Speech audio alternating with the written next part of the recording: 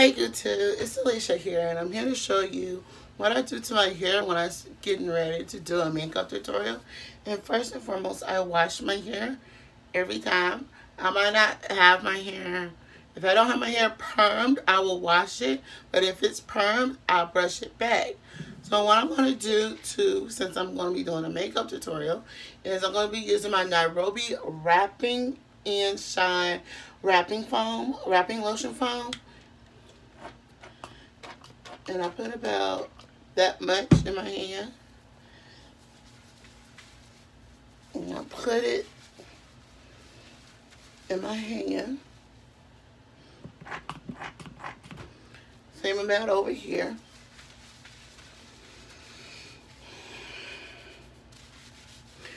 And this is what I do every time before I start um, wrapping my hair. So I take my parts and I'm going to part my hair.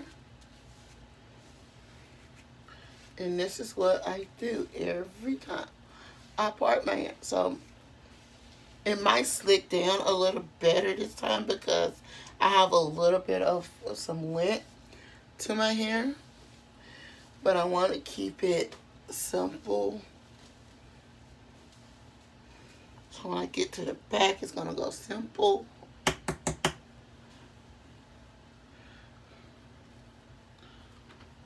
And stuff, so we're just going to, and this is all I do now to keep, where is it? Here it is. Okay. So to keep it molded down while I'm we're going to take the brush and we're just gonna and we're just gonna brush it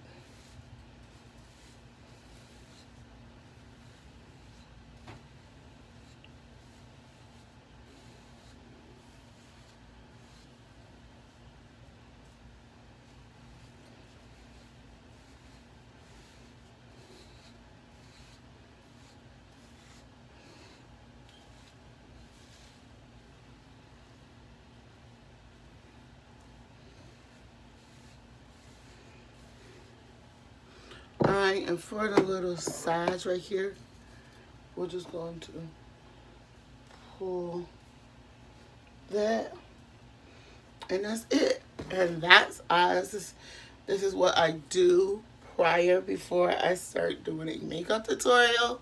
So yeah, I mowed my hair. So yeah, until then, I'm Alesha. Don't forget to thumbs up this video, comment below, and subscribe.